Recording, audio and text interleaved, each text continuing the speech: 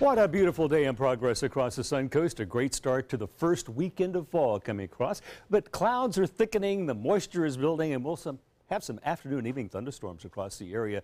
And they're kind of welcome. It's been dry for a spell, and we need that cooling influence of those storms in the afternoon. I don't think they're going to be that heavy to cause any additional flooding problems. 85 the temperature at the airport at noon with a dew point of 72. That's pretty humid. And the equinox, the pretty much equal day and night. Uh, the sun passing southward over the celestial equator occurs at 402. But it's not exactly 12 hours of day and 12 hours night. There's about a seven minute difference as you can see here because the Earth doesn't orbit perfectly in a perfect circle around the sun and there are other astronomical vagaries that cause that little slight discrepancy. Well, we do have an advancing Atlantic sea breeze coming our way. You can see it down around the Miami Fort Lauderdale area, and there's more developing up along the uh, Space Coast and the First Coast that will be approaching us during the afternoon and evening. And this is Hurricane Maria, still a Category 3 storm with a very impressive eye.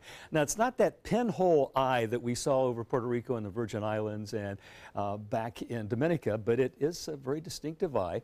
It will continue to weaken very slowly, but it's going to be around for about another week.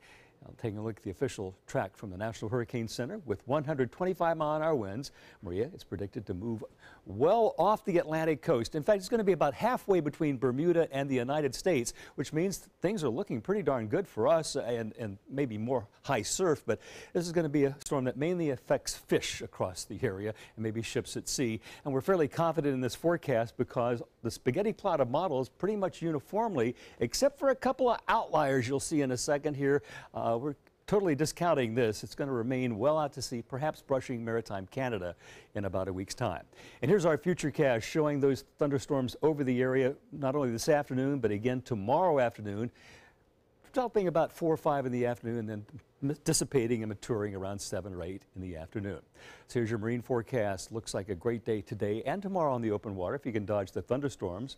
North wind 10 knots, seas 2 feet or less.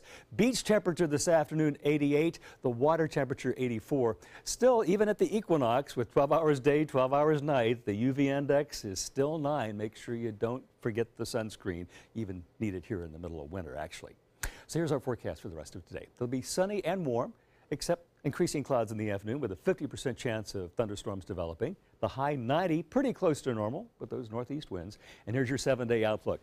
50% not only today, the same on Saturday, pretty close on Sunday.